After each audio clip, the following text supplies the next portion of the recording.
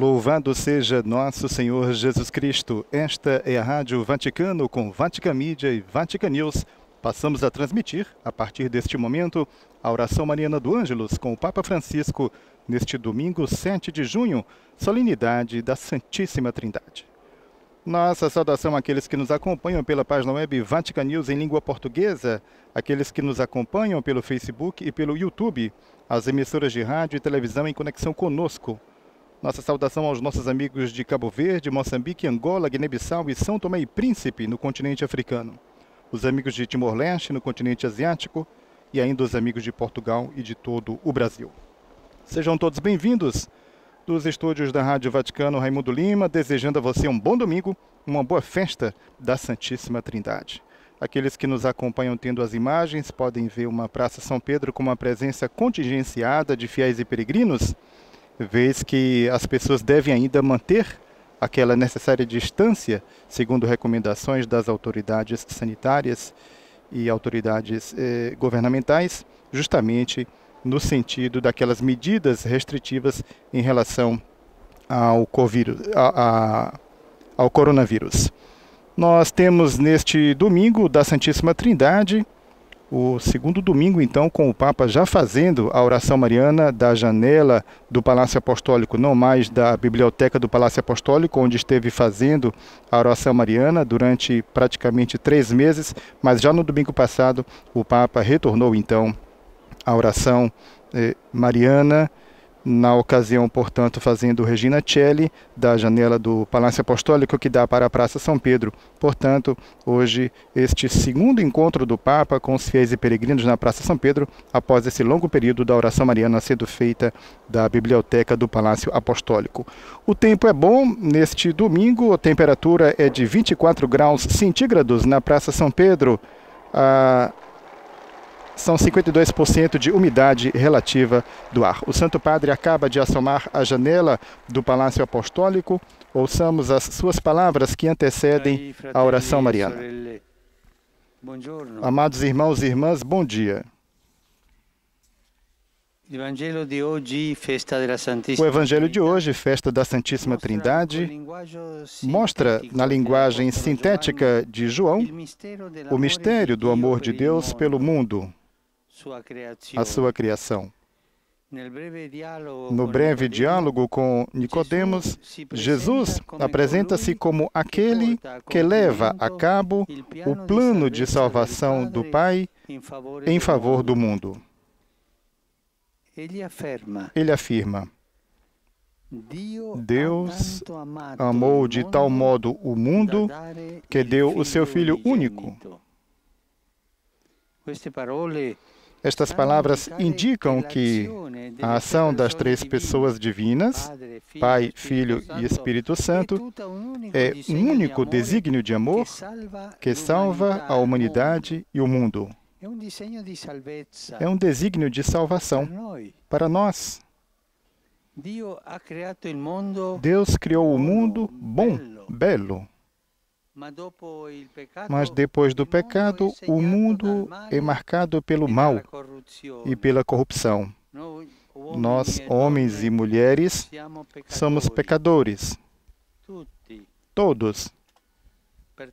Portanto, Deus poderia intervir para julgar o mundo, para destruir o mal e castigar os pecadores.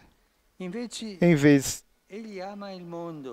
em vez disso, ele ama o mundo, apesar dos seus pecados. Deus ama cada um de nós, mesmo quando cometemos erros e nos distanciamos dele. Deus Pai ama tanto o mundo que, para o salvar, dá aquilo que tem de mais precioso, o seu Filho único, que dá a sua vida pela humanidade. Ressuscita, volta para o Pai e, juntamente com ele, envia o Espírito Santo. A Trindade é, portanto, amor inteiramente a serviço do mundo, que quer salvar e recriar. E hoje, pensando em Deus Pai, Filho e Espírito Santo, pensemos no amor de Deus. E seria bonito que nós nos sentíssemos amados. Deus me ama. Este, sentimento, este é o sentimento de hoje.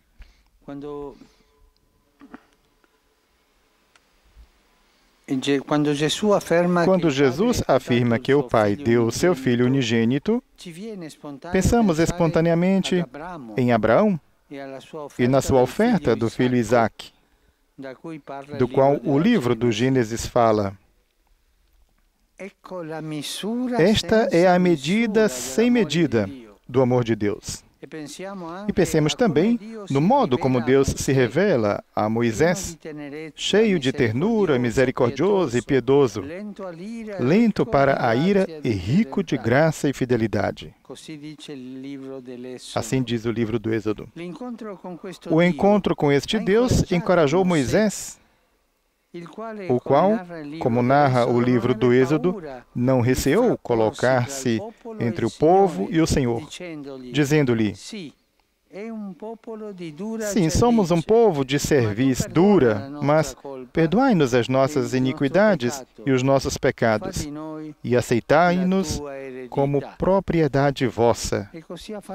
Assim fez Deus, enviando o seu Filho. Nós somos filhos no Filho, com a força do Espírito Santo. Nós somos a herança de Deus. Estimados irmãos e irmãs, a festa de hoje convida-nos a deixarmos-nos fascinar, mais uma vez, pela beleza de Deus. Beleza, bondade e verdade inesgotável. Mas também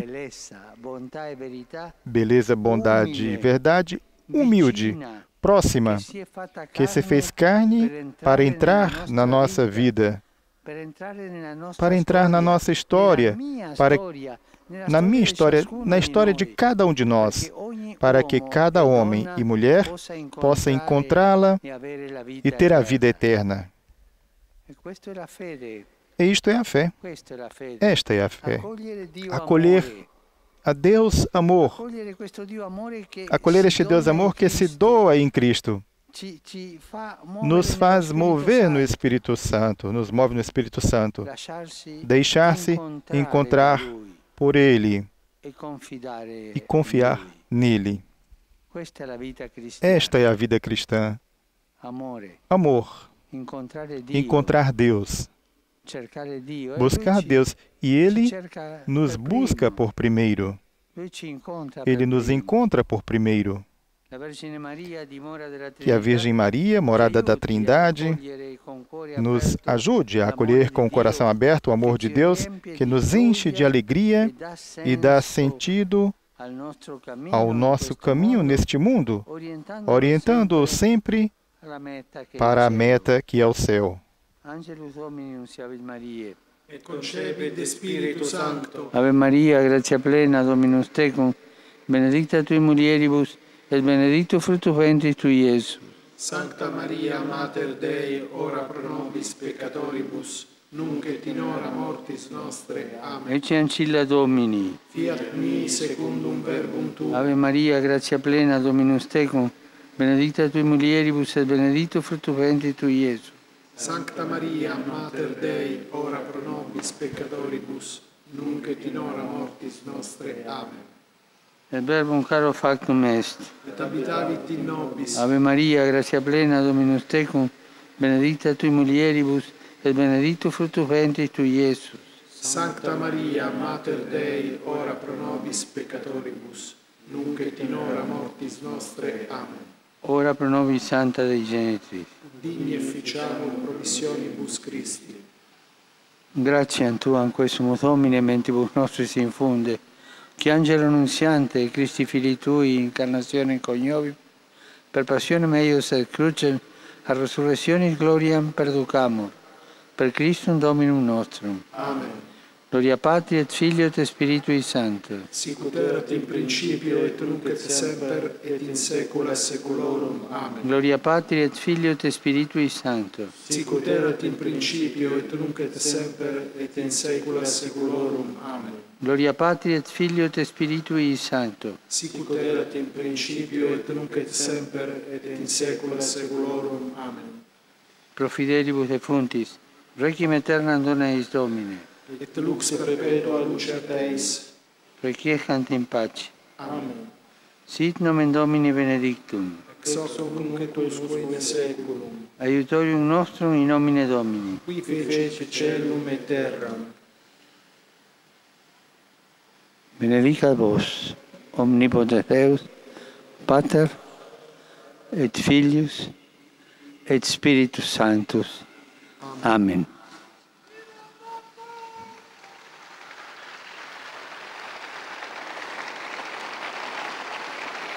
Ouçamos agora as saudações do Papa após a oração mariana.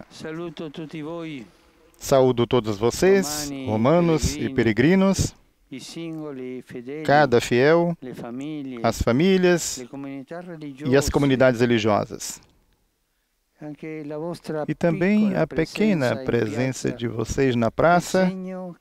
É sinal de que na Itália a fase aguda da epidemia foi superada, embora permaneça a necessidade,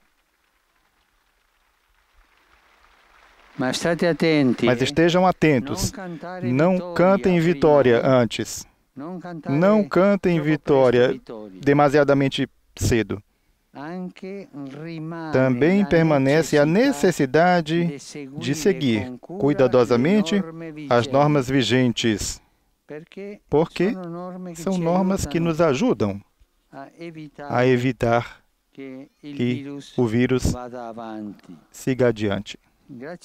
Graças a Deus estamos saindo do centro mais forte, mas sempre com as prescrições que as autoridades nos dão. Mas, infeliz, mas infelizmente, em outros países, penso em alguns,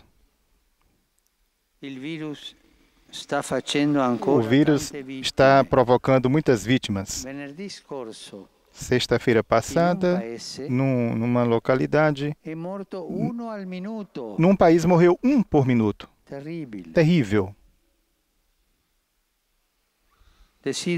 Desejo expressar a minha proximidade a essas populações, aos doentes e a seus familiares e a todos que cuidam deles.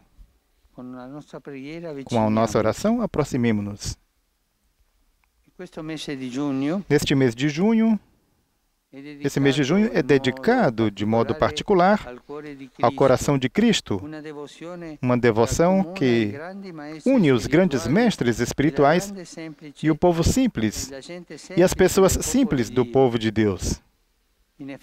Efetivamente, o coração humano e divino de Jesus é a fonte onde sempre podemos aurir a misericórdia, o perdão, a ternura de Deus.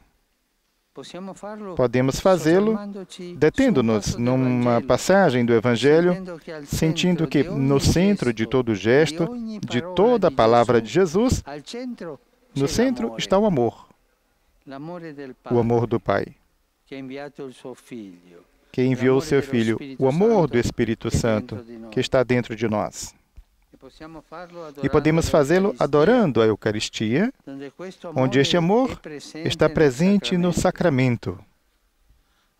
Então, também o nosso coração, pouco a pouco, se tornará mais paciente, mais generoso, mais misericordioso, segundo a imitação do coração de Jesus.